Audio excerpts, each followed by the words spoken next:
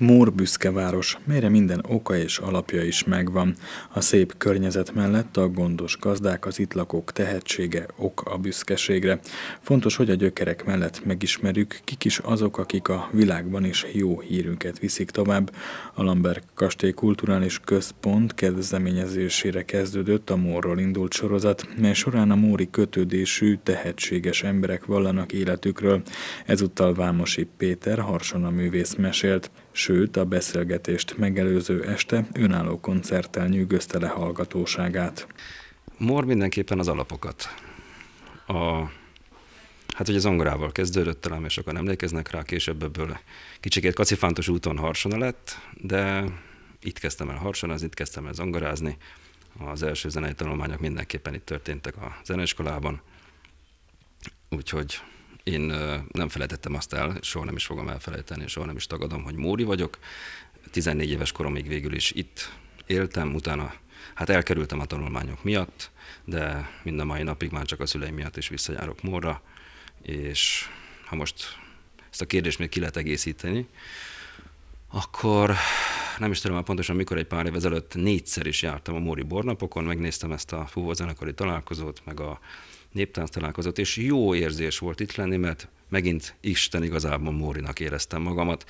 Az ember sok ismerőssel találkozott, és nagyon örültem annak, hogy ennyire, hogy is mondjam, kinőtte magát ez a Móri bornapok, úgyhogy szívesen emlékszem vissza, és azt kell mondjam, hogy a Radnóta Miklós általános iskola a legjobb intézmény volt, amivel valahogy is jártam az életemben a zenei alapok sem véletlenek, hiszen édesapád mennyire terelgetett a, a zenész pálya felé? Hát terelgetett természetesen, nyilván, hogyha zenész van a családban, ez kiad a gyerekre. Bízom benne, hogy ez az én gyerekemnél is így lesz.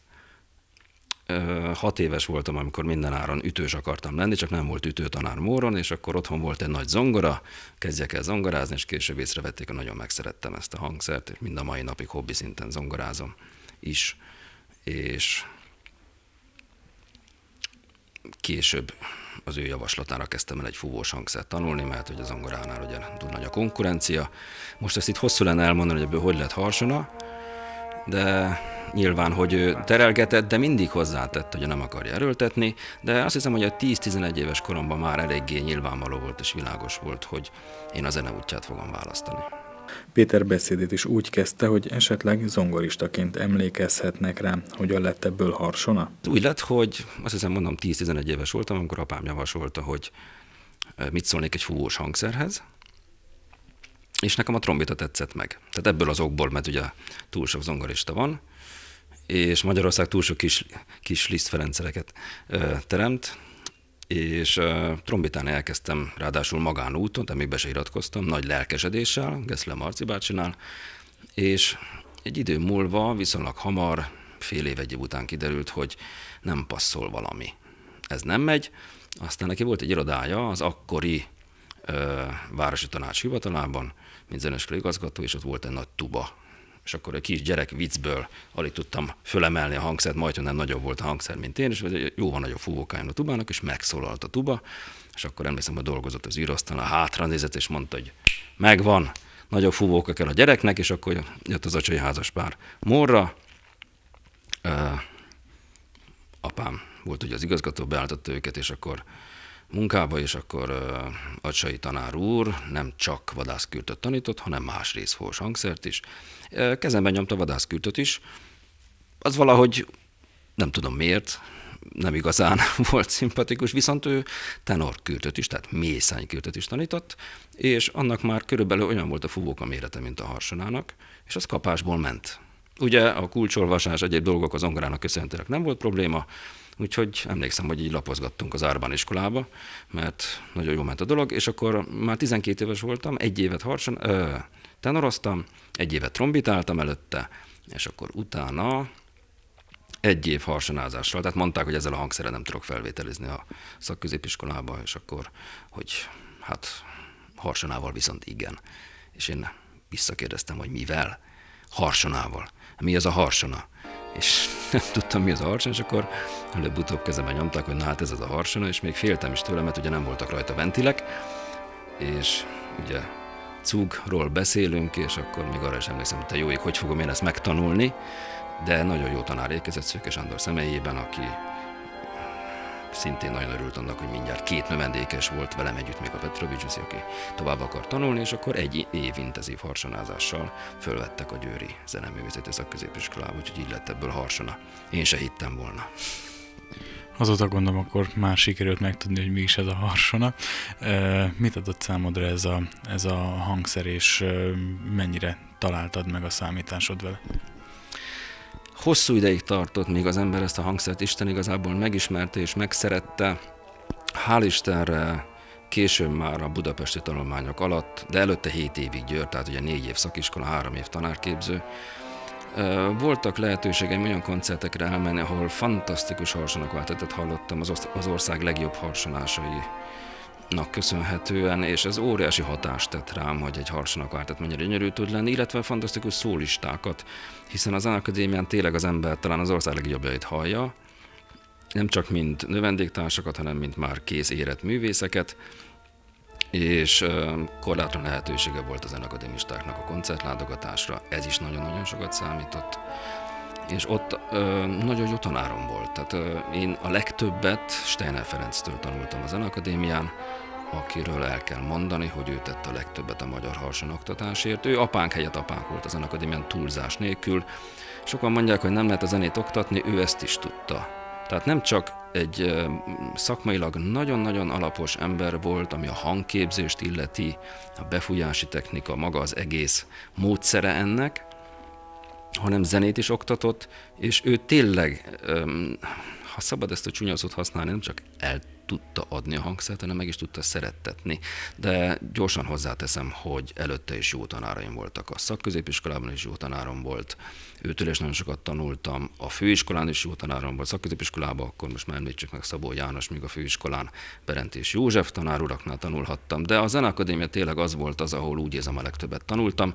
Németországba ki akartam kerülni, sikerült, és ott, ott is még tovább akartam tanulni, Hát ez nem elsősorban a Stuttgarti főiskolán jött össze, hanem inkább a Mannheimig, hiszen a Bayreuthi Operaháznak a, az első harsonás, aki 40 évig volt ott első harsonás, ő nála tanulhattam még több mint két évet, Paul Schreckenberger, és sajnos már ő sincs az élők sorában. Ott is nagyon sokat tanultam, és azért, hogyha az ember jó pár intézményen már átmegy, és nagyon sok vizsgája volt, és tényleg egy idő múlva úgy éreztem, hogy hiányzik a stressz, hogy nincs vizsgá, persze idézőjelben mondva, de hogy hiányzott, akkor azért kitanulja ezt a szakmát. És hát igen, nem egyszerű harsonázni. Persze egyik hangszeren se könnyű játszani. Péter a Móron játszott darabot sajátjának tekintheti, ugyanis a zene szerző direkt neki írta. Koncertjeiből hanganyag készült, emellett tanít is. Hát én szabadúszó lettem, az élet így hozta. Én tanítok mindenféle részfúvós hangszert kisgyerekeknek, zeneskolában is, egyesületeknél is, fúvózenekarokat is vezényelek, és hál' Istenre most már jó pár organistával nemzetközi szinten 2004 óta szólista lettem, és eljutottam most már nem csak Németországban, Magyarország talán legszebb helyeire, hanem Finnországba is, és most már CD-ket is csináltam, kettőt, tévéfelvételem is voltak, és már a harmadik CD-nek a műsorát állítom összelassan, és ha minden igaz, akkor még jó kiadóknál is sikerül kiadni ezeket a CD-ket.